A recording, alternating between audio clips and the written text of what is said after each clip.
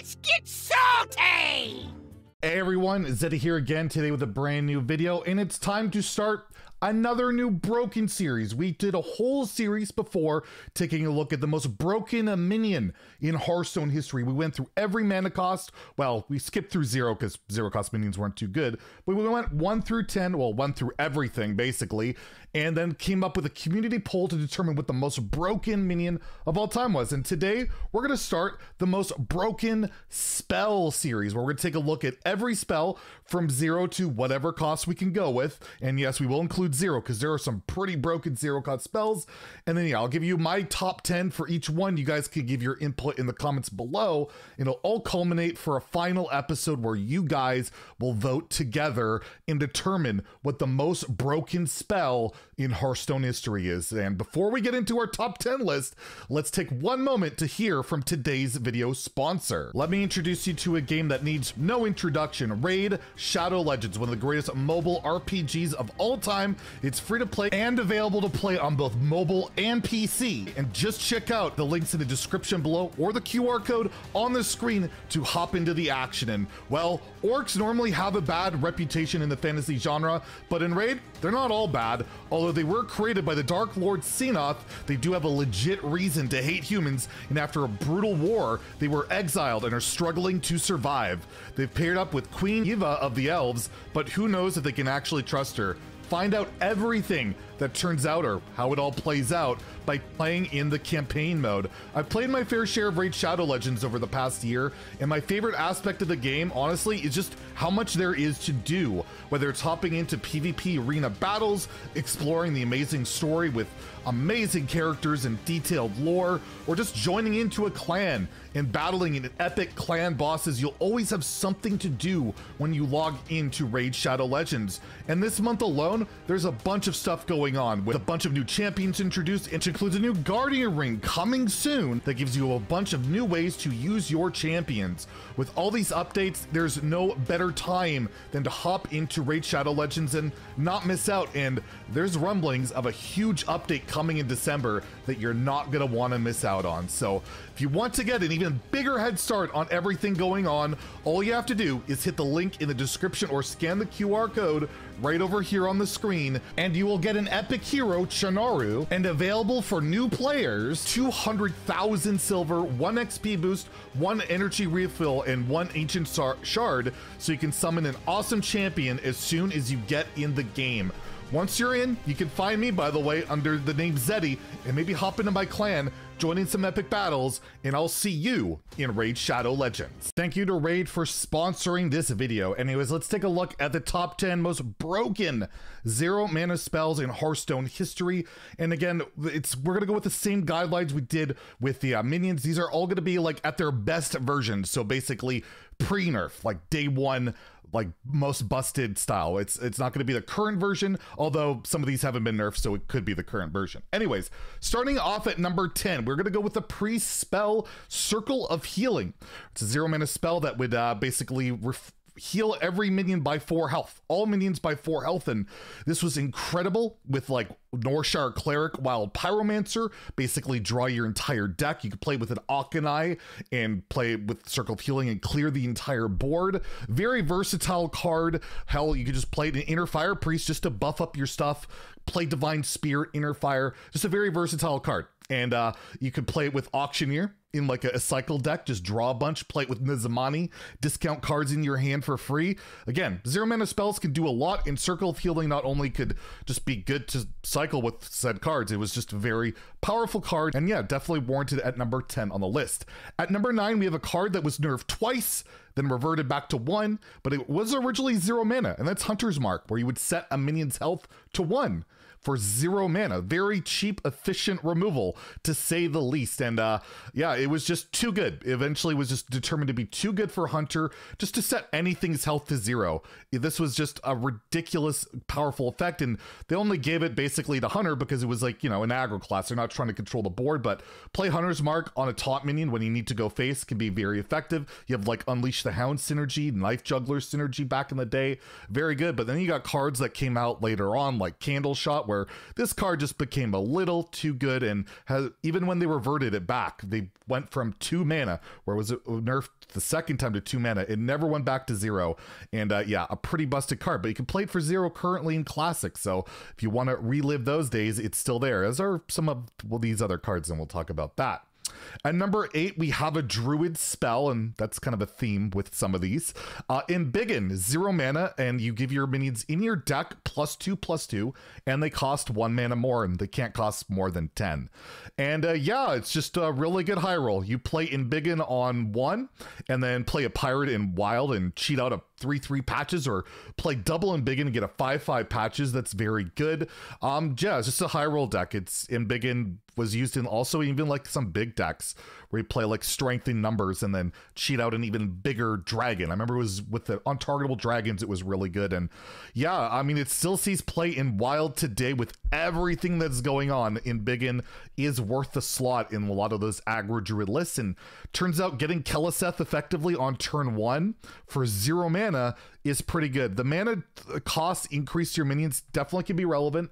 It can definitely be a drawback, but a lot of the times your opponent just won't be able to answer that early insane board sweep of stats.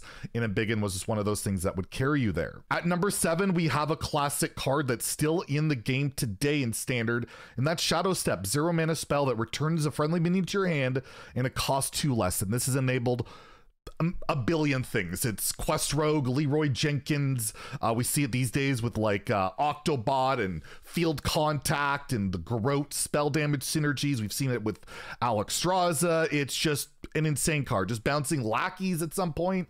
Um, Shadow Step is just one of, the, one of the most efficient, useful uh, spells in Rogue's arsenal. It cheats mana effectively. It's zero mana, gain mana on a friendly minion. And uh, Edwin Van Cleef would become very big with a lot of Shadow Step shenanigans. And honestly, I probably could warrant it being higher on the list. There's just a lot of really good zero mana spells that have come out throughout Hearthstone's history. And one of those at number six is Lightning Bloom, the dual class spell for Shaman and Druid. You gain two mana crystals this turn, overload two. And this is enabled, I don't know how many strategies in standard these days. It sees play in wild, you know, it's just it's mana. It's free mana. You do overload, but you even have cards like Overdraft that get rid of the overload in Shaman. It's it's an upside some of the times. We've seen Dane pop off and do insane damage combos in yes, Lightning Bloom with like Kael'thas Sunstrider enabled like turn one lethals in Wild for a particular point in time. A ridiculous card that I'm surprised has has stayed for over a year since it was introduced in Scholomance Academy. Just an incredible card. Mana cheat's good, and again, this is just free mana with you know the overload. But do you care if you're overloaded if you've just won the game? No, I don't think so. Um, at number five, we have another classic card for Warlock, Soulfire, zero mana deal four damage, discard a card. This was a staple in Zoolock. It was even used in Handlock for additional reach. Play with like an old Malygos if you want for some Malygos OTK shenanigans. But just think about how insane discard Warlock is in Wild with like free discount or free discards like an upside all the time. Imagine what that would be like with a zero mana Soulfire. Can you imagine? This didn't stay zero mana for very long. It, it got nerfed pretty quickly to one. So you can only imagine the impact this card would have had throughout the history of Hearthstone if it stayed at zero. It's one of those what ifs. What if Soulfire never went to one? Um, well, it'd just be broken. It'd be absolutely insanely busted. And for that reason, I gotta put it number five. Just such a good card. Zero mana deal four with potential upside with the discarding synergies these days. Uh, pretty insane. Um, at number four, we have a card that was nerfed twice, and that's First Day of School. It originally was a zero mana spell that would add two one cost minions to your hand, random one cost minions. It was nerfed to one mana and then gave three, and now it's at one where it gives two.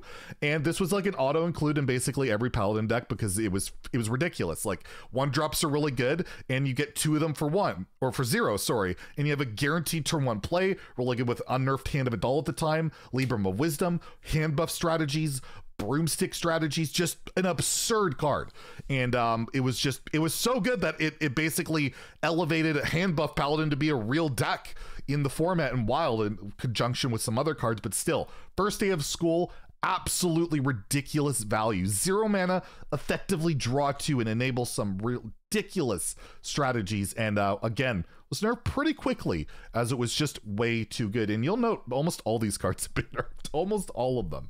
And speaking of that, we have preparation, rogue spells, zero mana. Originally, it would discount your spells by three, and then it was nerfed to two, and it still sees plenty of play at two. But yeah, zero mana, you could play sprint back in the day for four mana, and actually sprint was buffed to six, and that would be three. But uh, it got nerfed eventually because it was just it was too good. You, uh, I think the card that put it over the top was Raiding Party or with zero mana, drop two pirates, draw a weapon, and Kingsbane Rogue went crazy. And yeah, prep with just all the spells and all the insane synergies that Rogue has going on, uh, it definitely was just crazy. And the more I play classic, like prep fan of knives and all that stuff, it's still damn good and uh, you can only imagine what would rogue look like today with a zero mana preparation although they barely cost you know, they don't really spend mana on cards these days. Maybe it wouldn't even be relevant. I don't know. But regardless, prep for me has got to be top three. It is just so freaking good. And at number two, we have another dual class spell, Raise Dead. This is a priest and warlock card. Zero mana, deal three damage to yourself, and add two minions to your hand that have died this game. So effectively, you get zero mana draw two, two minions that you would love to get back on average because your deck is built around it. You have self damaging synergies, particularly in Warlock, which are incredible with cards like Flesh Giant, the Demon Seed, Dark Glare, countless cards. This has just been one of the most obscene, disgustingly good cards that has been auto included in Warlock basically since it's been introduced in basically every deck that can possibly run it. Uh, Priest, for the most part, too, getting back even just like, uh, you know, with Sethekk Veilweaver and Nazmani, getting back a Zephrys, whatever you want. It's just insanely good. I can't believe this card has not been nerfed yet. It's just it's disgusting. It's disgustingly good. The synergies are just out of this world for it. Like if it just said zero mana, add two minions to your hand, and didn't have the self-damaging thing, I'd honestly think it could be argued to be a worse card. So like the downside makes it even better. Ridiculously good card but not quite number one on my list. And before we get to number one, let's take a look at some honorable mentions. And we have uh, Topsy Turvy, Silence, Elemental Evocation, Hot Streak, Forbidden Words, Moonfire, and Backstab. So, what is the number one most broken card, zero cost spell in Hearthstone history, in my opinion? Well, we already talked about Lightning Bloom. So we got to just put Innervate on the list. It's Lightning Bloom without the downside. It has a no overload. This card used to give you two mana crystals. That was it for zero mana. Busted. Turn one Yeti. But the cards that put it over the top were like Vicious Fledgling, Bitter Tide Hydra, and just imagine, imagine we have Lightning Bloom and Innervate today. But you just never pay for mana. There, there is some upside to overload, like I mentioned, like with the overdraft synergies in Shaman. But overall, just what were they thinking with Innervate? It was what it was basically my original most hated card. You guys know I love to hate on cards, and when I started playing Hearthstone, I'm like, why why is Innervate a card? They just it created these unanswerable early states that you just couldn't do anything about. You would just lose. There's nothing you could do because your opponent had Innervate Innervate something. And what, what how am I going to answer this like six drop on turn two? I, I just lose the game. It was always a very frustrating ridiculous card and for me it, it's just a, a, no-brainer. It is the most broken zero cost spell of all time. So let me know in the comments below what you think what you think is the most busted zero cost spell of all time. I love to hear it and make sure to hit that subscribe button. We'll go over the next series which is one mana spells and should we include quests on that? That's an interesting question. Quests are spells and well they might dominate that list. Anyways we'll see you in that video. If you enjoyed the video please like and subscribe. Have a great day and stay salty, my friends.